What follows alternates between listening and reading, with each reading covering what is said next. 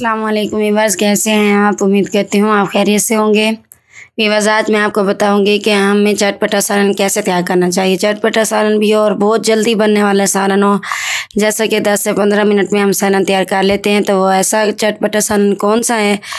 तो आपने इस सालन को सीखने के लिए आपने मेरी वीडियो को मुकम्मल देखना है। तो आइए अब हम शुरू करते हैं। रहीम तो वीवर्स ये देखिए, चंद मसाले हैं, ये लहसुन है, अदरक है। इसी तरीके से दो मैंने, दो अदद मिर्चें ली हुई हैं और दो मीडियम साइज़ के मैंने प्याज काट लिए हैं। और इसी तरीके से मैंने प्याज, टमाटर को भी काट लिए। इन्हें मैंने मोटा मोटा काटा है क्योंकि हमने इन तमाम चीज़ों को ग्रैंड कर लेना है।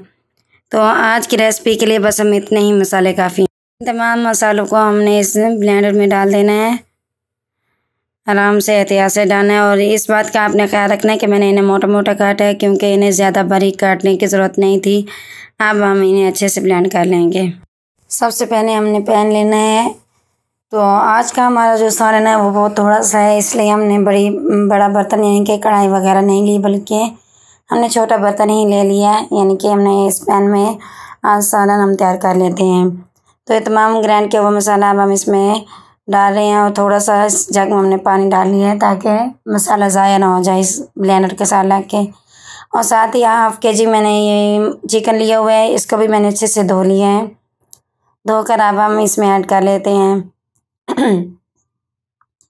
तो आज का सालन बहुत ही मज़े का हमारा तैयार होगा और हाफ़ प्याली हमने इसमें दही ऐड करनी है। तो आपने इस बात का ख्याल रखना है कि आज हमने बहुत ही जल्दी से मज़े मज़े का सालन तैयार करना है। और चटपटा सालन हमने तैयार करना है। तो चटपटा भी होगा और फटाफट भी तैयार होगा तो इन बहुत ही मज़े का हमारा सालन तैयार होगा।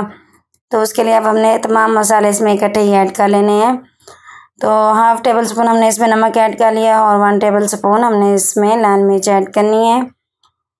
लाल मिर्च हमने वन टेबल स्पून इसमें ऐड की है, क्योंकि सालन तो बहुत थोड़ा है, लेकिन ये घर की मिर्च है, बहुत तेज़ बनी हुई है। फिर भी हमने इसमें ज़्यादा ऐड की है ताकि हमारा मज़े का करारा सालन तैयार हो जाए। और हाफ़ टी स्पून हमने इसमें हल्दी ऐड की है। तो हल्दी भी हमने कम ही ऐड करनी है क्योंकि इसकी ज़रूरत नहीं है और वन टेबल स्पून हम इसमें धनिया ऐड कर रहे हैं। धनिया को मैंने बहुत बारीक नहीं पीसा, ना ग्रैंड किया है क्योंकि इसकी ज़रूरत नहीं है। थोड़ी मोटी मोटी हो तो वो अच्छी लगती हैं। तो अगर आपको ज़्यादा बारीक पसंद है तो आप कर सकते हैं और वन टेबल स्पून हमने इसमें गर्म मसाले ऐड कर लिए तो अब हम इन तमाम मसालों को अच्छे से हल कर लेंगे, यानी कि मिक्स कर लेंगे चम्मच की मदद से।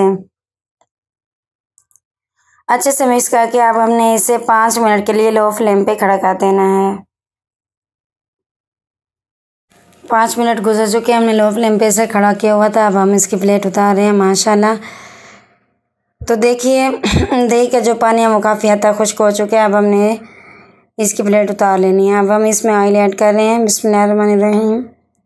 तो ऑयल भी हमने अपने अंदाजे के मुताबिक इसमें ऐड करना है। मतलब कि बहुत कम भी ना हो, वो भी अच्छा नहीं लगता और बहुत ज़्यादा भी ना हो कि ऑयल का शोरबा बन जाए।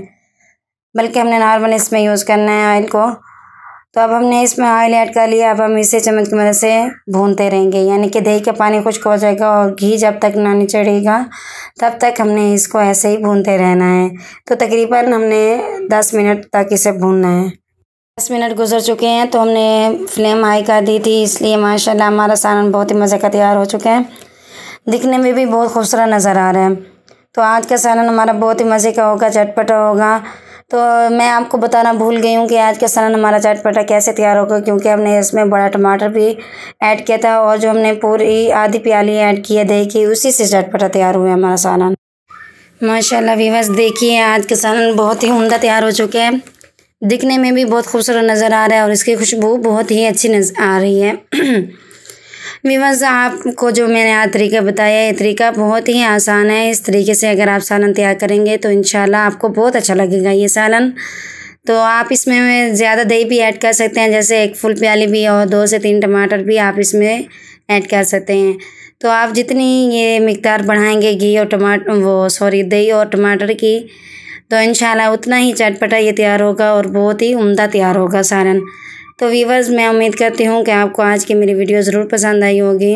अगर आपको मेरी वीडियो पसंद आई है तो आप मेरी वीडियो को लाइक करें शेयर करें, मेरे चैनल को सब्सक्राइब करें और आपने इस तरीके को ज़रूर ट्राई करना है। इन आपको ये तरीका बहुत पसंद आएगा। वीवर्स मुझे दुआ में याद रखिएगा। इंशाल्लाह अब हम दूसरी वीडियो में मिलेंगे। तब तक के लिए मैं आपसे इजाज़त चाहती हूँ। अल्लाह हाफिज़।